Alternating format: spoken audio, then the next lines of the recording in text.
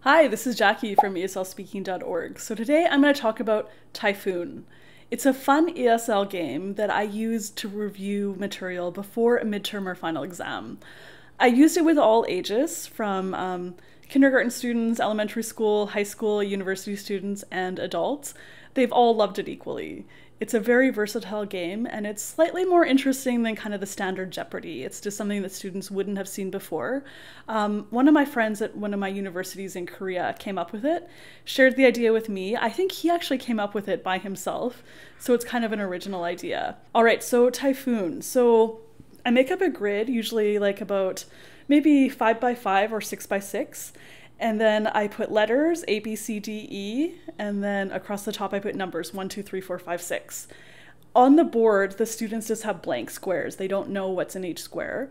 But I have a paper that lists questions for each square.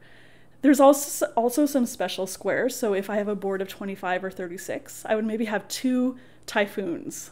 Typhoon is losing everything. so all the points you have up to that point are gone if you choose that typhoon square. The next one is hurricane. So hurricane is you lose minus five points. So of course play it up. so you could say something like, ooh, bad weather is coming. And then I always write in the square um, the letter. So T for typhoon, H for hurricane. There's also easy, medium, and difficult questions. So E and T and H all start the same, one line down. So I write the one line, and then students, is it easy? Is it difficult? Is it typhoon? Is it hurricane? I like to drag it out very slowly, and they get very excited about it.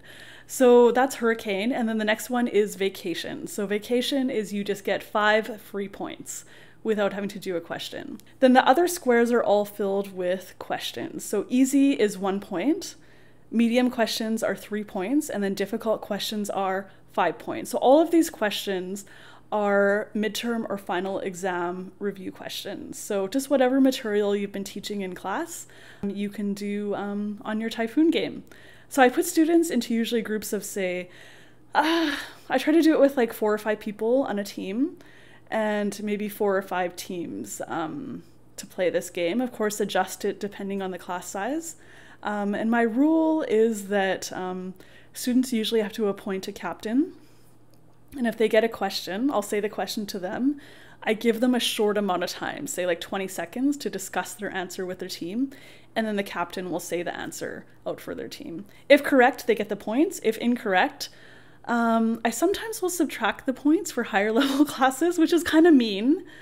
Or um, for lower level classes, just nothing happens. They just don't get the points. All right, so I hope you like this review game. Please leave a comment below and tell me your favorite ESL review game that you like to do before an exam in your classes. And please hit like, subscribe, tell your friends, and be sure to check out my book on Amazon 39 ESL vocabulary activities for kids. All right, until next time, bye everybody.